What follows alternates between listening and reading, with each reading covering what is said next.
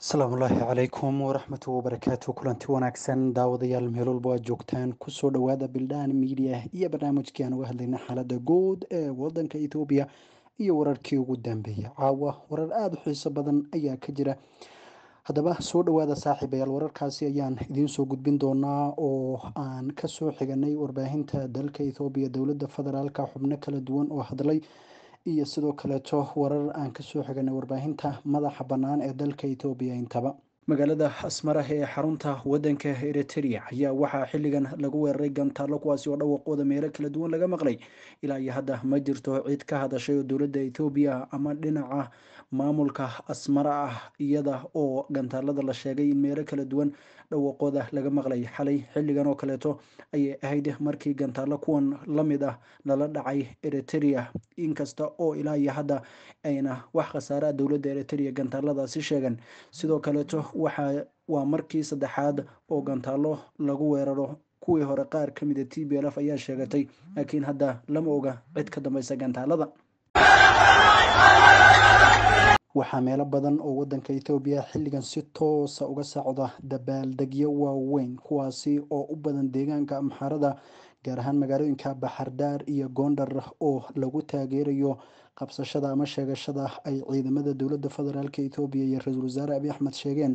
inay gebi ahaanba magaaladii makare caasimada dowla deegaanka tigreyga ay gacanta ku dhigeen inkasta oo aysan jirin cid arrimahaasi si toosa u xaqiijin karta. Maamulka tigreyga iyo xubnihiisii ayaan ilaa iyo hadda jirin cid u hadashay oo arrimahan war ka soo saartay.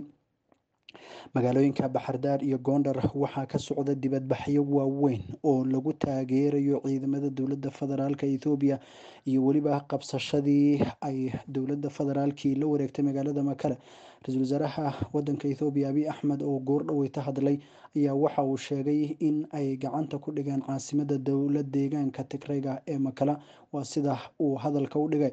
Sidoo kaleeto taliyaha guud ee ciidamada wadanka ethoobiya burhanu jullah ayaa isaguna dhankiisa waxa uu sheegay in ay la wareegeen. Inkastoo qaar ka mid a ciidamada dowladda federaalk ethoobiya ay iyagu maanta sheegeen in ay goordhow la wareegi doonaan ama waqtiyada saacadaha soo socda. Magaalada makale ee caasimada haddana arintan ayaa dad badani ay ka yaabeen. Maanta markay ciidamadu lahaayeen laba beri kadib ayaan la wareegeynaa iyo dowladda oo ku dhawaaqda. Inkasta oo laga yaabo inay tahay howl ciidan iyo arrimo tatika ciidan oo aynaan inagu xaqiijin karin arrimahaas sidoo kaleetana qabsashada lafteeda ayaanba la xaqiijin karin. Inkasta oo wararka rasmiga la helaya ay yihiin in ay magaalooyinka ugu dhadhow makala ee ku hareereysan ay dhammaan ciidamada dowladda federaalk sidaan habeennimadii xaliba idiin sheegnay ay la wareegeen kuna hareereysnaayeen guud ahaan magaalada makala ee caasimada dowla deegaanka tigreyga ra'iisul wasaaraha dalka etoobiya oo goor dhaweyta warbaahinta la hadlay ayaa waxa uu sheegay in ciidamada dowladda federaalk ah ee wadanka etoobiya uu uga mahad celinayo qabsashada makale iyo dhabar adeygii ay muujiyeen isagoo sidoo kaleeta shacabka dowla deegaanka tigreyga u mahad celiyo oo ku sheegay in ay si toosa u garab istaageen ciidamada xooga ee wadanka etoobiya intii uu howlgalka iyo dhibaatada u socday waxa uu ka cudur daartay dhibaatooyin kala duwan oo dadka shacabka la soo darsay muddadii ay xaaladu socotay. Waxa uu ugu beer qaboojiyey dadka shacabka ee dowla deegaanka tigreyga in gebi ahaanba uu soo gabagaboobay howlgalkii halkaasi ka socday. Ra'iisul wasaaraha ethoobiya abiy axmed cali ayaa waxa uu ku dhawaaqay in uu joogsaday howlgalkii military ee gobolka tigreyga kadib markii sida uu sheegay la dhammaystiray waa hadalka sida uu dhigay. Waxa uu sheegay ra'iisul wasaaruhu in hadda wixii ka dambeeya diiradda la saari doono dib u dhiska gobolka tigreyga iyo weliba sidii gargaar loo gaarsiin lahaa dadka shacabka ugu dambeyn waxa uu xusay ra'iisul wasaaruhu in ciidamada booliska federaalka iyaga laga rabo inay gacanta ku soo dhigaan waa kuwa boolis federaalka loo yaqaano inay gacanta ku soo dhigaan xubnaha ama mas'uuliyiintii t b l f oo uu sheegay in ay meelaha ku dhumaaleysanayaan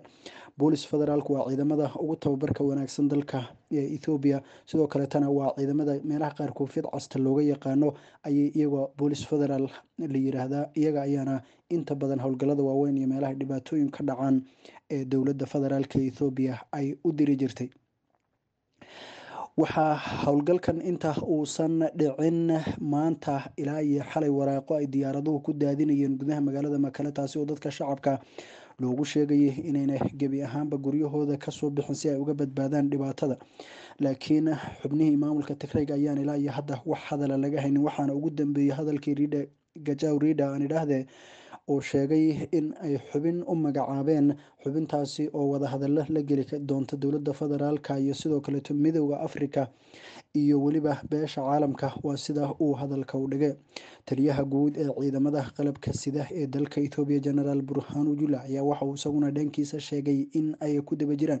kooxda t b l f oo uu xusay in ay dhuumaaleysanayaan xilligan genaraal jula waxa uu sidoo kaleeto carabaabay in xubnaha kooxda t b l f ka tirsan ee isa soo dhiiba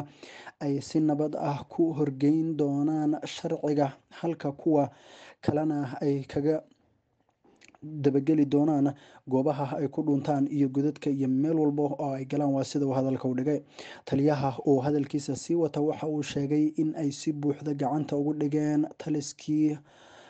dhinaca waqooyi ee wadanka ethoobiya islamarkaana ay toddoba boqo aan idhaahdee toddoba kun oo ciidamada milatariga dalkaasi ah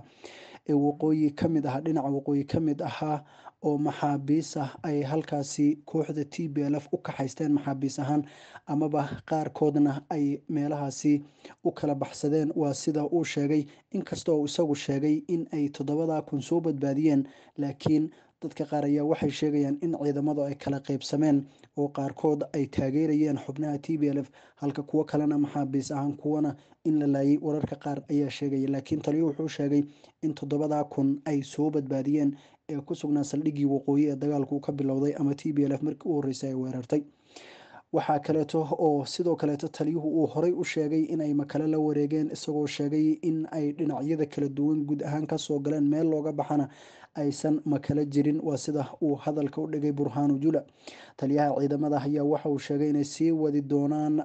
arrimaha la xiriira sharciga sareyntiisa iyo ilaalintiisa. Inta xubnaha t b l f sharciga laga horkeenayo abiy axmed isaguna waa ku dhawaaqay arintaas oo waxaad moodaa labada dhinacba in ay iska waafaqsan yihiin laakiin t b l f ayaan ilaa iyo hadda wax wara laga haynin laakiin waxaa xusid mudan dagaalkii galabta bilowday in uu ilaa iyo caawa fiidkii uu socday oo dagaal xoogan uu ka dhacay duleedka magaalada makala markii dambena sida ay ciidamada etoobiya iyo ra'iisul wasaaruhu sheegteen gudaha ayay u galeen laakiin waxay warbaahinta madaxa banaane xaqiijin kartaa. Anaguna aan ogeyn oo warbaahinta aan ka soo xiganayna caalamiga in uu dagaalku ridada iyo goobaha ku hareereysan magaalada makala oo maalmihii u dambeeyeyba uu ka socday laguna durkayay magaalada makala ilaa caawa ilaa galabtana uu dagaalku ka socday meelo ku hareereysan ama u dhow magaalada makala ee caasimada dowla deegaanka tigreyga kadib markii dadka shacabka habeenimadii xalayta ahayd waraaqa loo daadiyey oo looga digay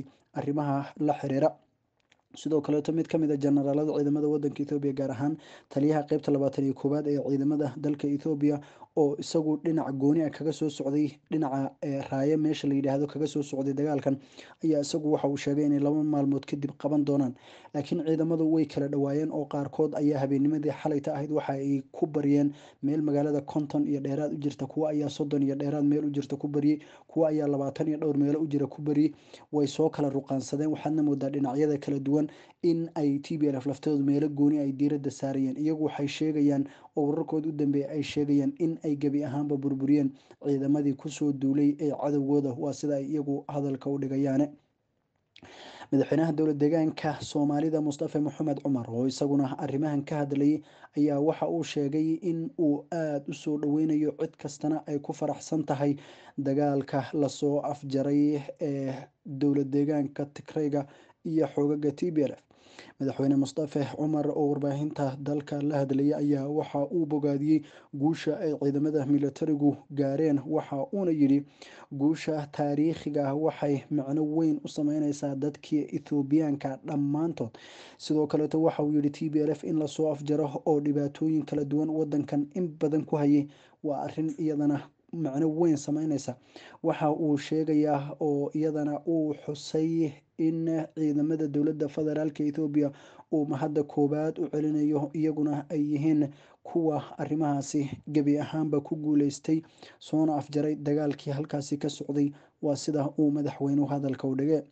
waxaa weli socda baaqyada kala duwan ee dhinaca caalamka kuwaasoo isa soo taraya oo dadka shacabka weliba loogu sheegaya in aan la dhibaateynin haddii ciidamada federaalk ee dowladda ethoobiya la wareegaan. Waxaa kaleeto laga cabsi qabaa in xooga t b lf kolkii ay tabari u run sheegtay ay iyaga laftoodu dhibaatooyin ay u geysan karaan dad halkaasi ku sugan oo ajaanib ah ama ka soo jeedaba ethoobiya inteeda kaleeto inkasta oo t b lf ay sheegtay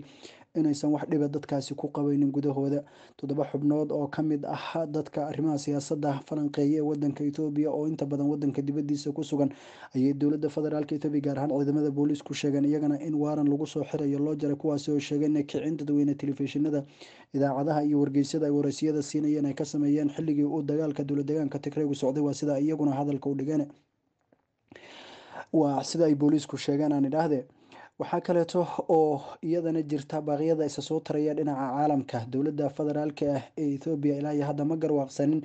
in dagaalkaasi dadka shacabka lagu dhibaateeyey ama dad shacabi ay wax ku noqdeen. Sidoo kaleeto waxayna garwaaqsaneen in wadahadal lala galo waxaana u dambeysay in midooda africa loo diiday inay halkaasi tagaan xubnahaasi la hadlaan taasi oo ra'iisul wasaare abi axmed gebi ahaanba uu diiday. Waxaa iyadana maalmihii u dambeeyey waddamada dariska la ah dalka ethoobiya gaar ahaan waddamada south sudan iyo suudaan ka socday socdaalo kala duwan oo sirdoonka wadanka masar iyo sidoo kaleeto madaxweynaha masar ay ku gaalabixinayeen. Waxauna cabdifatax al siisi maanta isaguna ku sugnaa wadanka koonfurta suudaan halkaasi oo madaxweynaha wadankaasi uu kulamo la yeeshay. Dad badan ayaa isweydiinaya weliba walaa xoogan ayay falanqayaasha arrimaha siyaasadu ka muujinayaan socdaalada iyo weliba kulamada kala duwan ee dhinaca diblomaasiyadeed iyo ammaanba oo hay'ado sirdoon ay ka mid yihiin ee soo gaaraya